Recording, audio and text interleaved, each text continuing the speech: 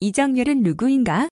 대한민국의 판사 출신, 변호사, 판사 시절 튀는 판결과 연행으로 화제가 되었으며 판사를 그만둔 후 바로 변호사 등록을 하지 못하고 사무장을 하다가 변호사가 된 유일한 인물로 알려져 있다. 주요 판결 2004년 양심적 병역 거부로 재판에 기소된 자에 대해 국내에서는 처음으로 무죄를 선고하면서 유명해졌다. 2004년 정부의 노동조합 관련 특별법 추진 반대 집회를 열었다가 공무원 집단행위 금지법 위반으로 기소된 전국 공무원 노동조합 조합원 23명에 대해 선고 유예 판결을 내려 공무원 노조의 노동사건을 인정하는 판결을 내렸다. 2005년 억대 내기 골프 상습범으로 기소된 이 씨의 4명의 무죄를 선고했다. 2005년 6월 주부 김모 씨와 남편 등 교통사고 피해자들이 가해자의 보험사 디세를 상대로 낸 손해배상 청구 소송에서 피고는 원고 김 씨에게 2,200만 원을 지급하는 등 총 6,600여만 원을 지급하라는 화해 권고 결정을 내렸다. 이 판결에서 원고 김 씨는 가정주부 업무 외에도 정신지체장의 이구빈 딸을 보호하는 업무까지 했기에 특별임부의 일용 노동임금인 1일 6만 5,734원으로 산정해야 한다라는 판결문을 내서 가정주부의 가사노동을 일반 일용직 근로자가 아닌 특수직 근로자로 인정해야 한다는 첫 판례를 남겼다. 2007년 판사소공 테러 사건 관련 김명호 전 성균관대 교수의 교수 지위 확인 사건 항소심 주심판사로 원고 패소 판결문을 작성했다. 당시 판결에 대해서는 위문서에 해당 항목과 법원 내부 통신망에 올린 글 전문을 참고 바람. 2013년 추가 서류 제출 기한을 어겼다고 법원이 채무자의 개인 회생 절차 신청을 기각하는 것은 부당하다며 제기한 항고 사건에서 원심 결정을 파기환송했다. 판결문에서 재판부는 이 씨가 법원의 보장 광고를 받고도 그 기한 내에 서류를 제출하지 못한 잘못은 있지만 개인 회생 절차 개시를 신청한 사람들은 일반적인 방법으로 빚을 갚기 어렵고 생업에 종사하느라 법원의 보정 권고에 따르기에 시간적 심리적 여유가 부족한 경우가 많다며 법원은 보정 권고를 기한 내에 지키지 않았다는 이유만으로 신청을 기각할 것이 아니라 이 씨에게 연락해 보정을 촉구하고 사정을 들어보는 등 시정의 기회를 줘 비교적 사회적으로 열악한 지위에 있는 사람을 배려했어야 한다고 밝혔다. 사건 사고 원래도 법조계 내에서 튀는 판사였기 때문에 우수한 사법연 소원 성적에도 불구하고 어느 순간부터 형사부 판사에서 밀려나는 등 출세가 도와는 멀어지고 있었다. 전술한 각종 파격적인 판결회에도 법원 내에서 판결문 늦게 쓰는 판사로 악명이 높았다고 한다. 본인이야 재판에 걸린 사람들의 미래를 내 글로 결정하는 거라 심사숙고한다지만 대한민국 헌법 제27조 제3항 제1무는 모든 국민은 신속한 재판을 받을 권리를 가진다라고 규정하고 있으므로 판결문을 늦게 쓰는 것이 그리 쉽게 정당화되지는 않는다. 각하새끼 짬뽕 사건 결정적으로 비뚤어진 계기는 2011년 이명박 정부 때 있었던 일명 각하새끼 짬뽕 사건. 이 건으로 법원장에게 경고를 받으면서 삐딱선을 탄 이정열 판사는 다음 해인 2012년 영화 부러진 화살 개봉 때 이 사건의 심판 합의를 법원 내부 통신망을 통해 공개했다는 이유로 정직 6개월의 중징계를 받았다. 각급 법원 재판의 경우 심판의 합의는 공개하지 아니한다. 법원 조직법 제65조를 위반한 징계인데 비슷한 합의 내용 공개 사례가 있었고 해당 건은 주의로 끝났음에도 6개월 중징계를 받았다는 점에서 이 건이 얼마나 내부에서 심각했었는지 알 수 있다. 물론 위 내용까진 표현의 자유 측면에서 용인될 수는 있고 또한 억울하다는 항변이 나올 법도 하다.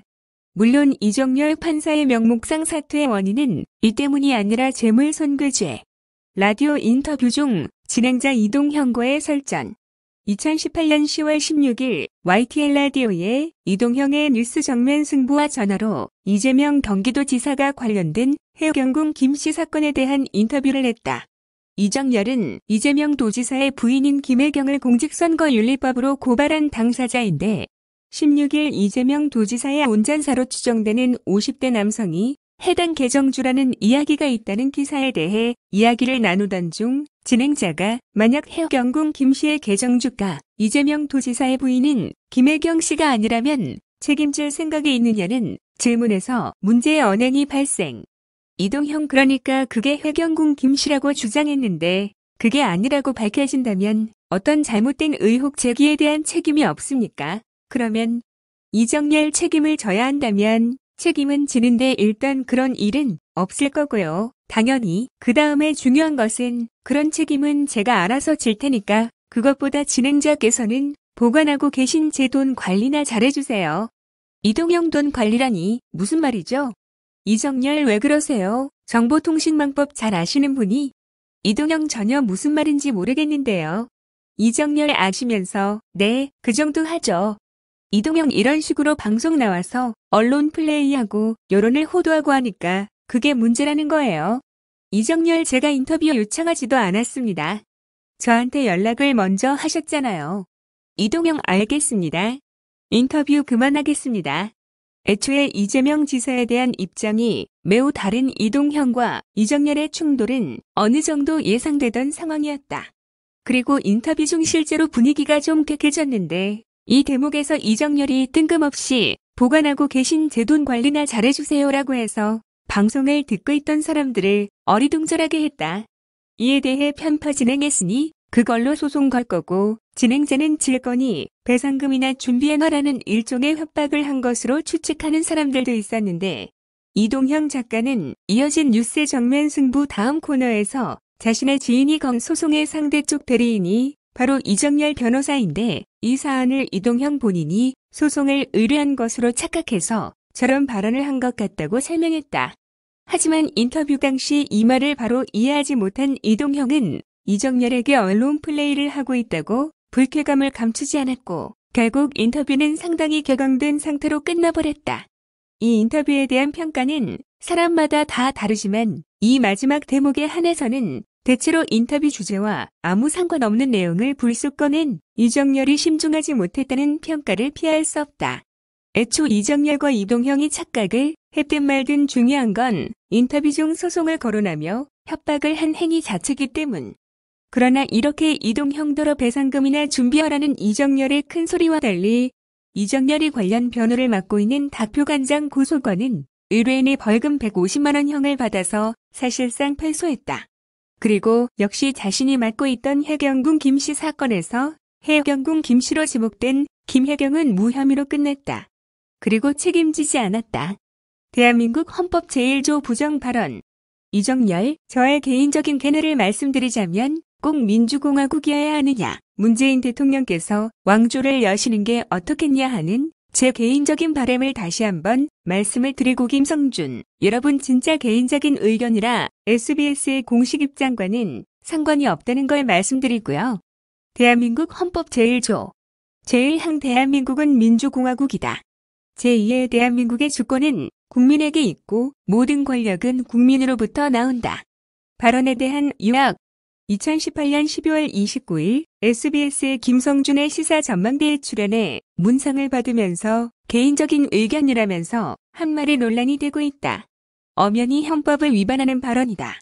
이정열 지지자들은 그저 방송에서 우스갯소리로 하는 얘기니 진지 빨지 말라고 하지만 이 사람은 몇 년 전까지만 해도 판사를 했던 공인이라는 것이다. 그럼에도 불구하고 이렇게 말했다는 것 자체만으로 문제가 될 요지가 매우 크다.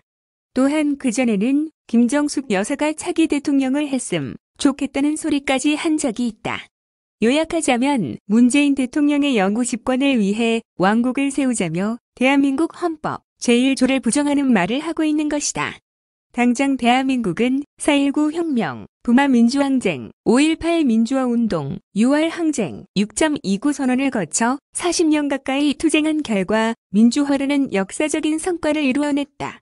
다시 말해 민주화를 위해 운동권에 투신했던 386세대에 속하는 이정열이 이런 소리를 팟캐스트도 아닌 지상파인 SBS에서 말했다는 것. 저 말이 나오자마자 당황한 김성준은 진짜 개인적인 의견이라며 다급하게 커트를 친 건 덤. 근데 이 사람은 2017년에는 변호인을 보고 쓴 칼럼에다가 대한민국 헌법 제1조를 법률을 전공했다는 필자는 물론이거니와 정의와 민주주의를 사랑하는 많은 이들이 아끼는 조항이다. 라고 했다는 것이다. 다시 말해 농담으로라도 해서는 안 되는 말이다. 박사모가 욕을 먹는 가장 큰 이유가 무엇인지 생각해 본다면 그런데 재미있는 점은 문재인을 왕으로 만들어야 한다는 사람이 친아들 문준용을 온 신문에다 조리돌림했다는 점이다. 그런 사람을 문바가 극렬하게 지지하는 것은 덤, 과연 이 사람이 진짜 문재인 지지자가 맞는지 의심하는 여론도 점점 생기고 있다. 궁차사 대표와 소송 2019년 7월 해경궁 김씨 사건 관련하여 이정열 변호사에게 고발을 의뢰했던 궁차사 대표가 박훈 변호사를 선임해서 이정열을 고소한 것으로 확인됐다. 사유는 이정열이 허락 없이 자신의 신분을 노출시켰을 뿐만 아니라 자신에 대한 험담을 하고 다녔다는 것. 애초에 해경궁 김시건이 검찰에 의해 불기소 처분이 내려지면서 공차사 측과 이정열 측의 갈등이 본격화되었는데 이 갈등이 결국 고소고발전으로 이어진 것으로 보인다. 고인 모독 트윗 논란 2019년 8월 9일 트위터에서 지난 8일 별세한 윤장주 방심위 위원을 거론하며 그의 죽음이 다행이라는 식의 발언을 써서 논란이 일었다.